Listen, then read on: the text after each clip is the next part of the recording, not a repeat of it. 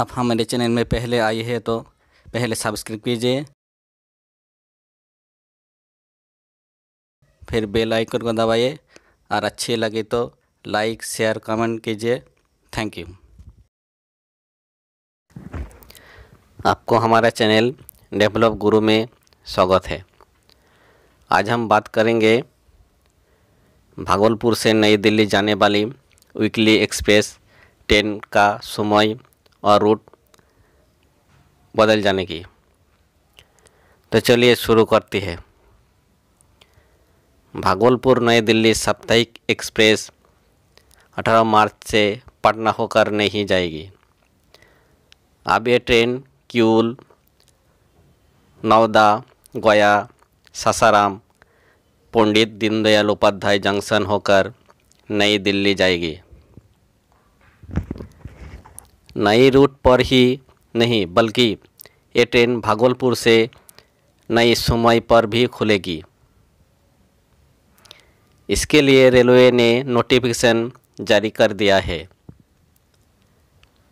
साप्ताहिक एक्सप्रेस अभी हर सोमवार को शाम साढ़े पाँच बजे खुलती है। लेकिन 18 मार्च से दिन में साढ़े तीन बजे खुलेगी। भागलपुर से खुलने के बाद ये ट्रेन क्यूल शाम छः बजे और गया साढ़े नौ बजे रात में पहुंचेगी। बता दो कि इस ट्रेन का पंडित दीनदयाल उपाध्याय जंक्शन से नई दिल्ली के बीच समय का बदलाव नहीं किया गया है। रूट बदलने से भागलपुर से गया जाने वाली यात्रियों को काफ़ी राहत होगी। इस ट्रेन का रूट बदलने की घोषणा अक्टूबर में केंद्रीय रेल राज्य मंत्री मनोज सिन्हा ने की थी।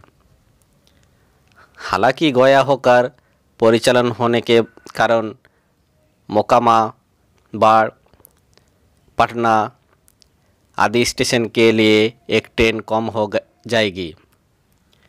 लेकिन गया के लिए एक ट्रेन बढ़ जाएगी। ये न्यूज़ सुनकर आपको अच्छी लगी तो ज़रूर लाइक शेयर कमेंट कीजिएगा और ज़रूर सब्सक्राइब करेगा क्योंकि ऐसे ही न्यूज़ में लाते रहता हूँ। Thank you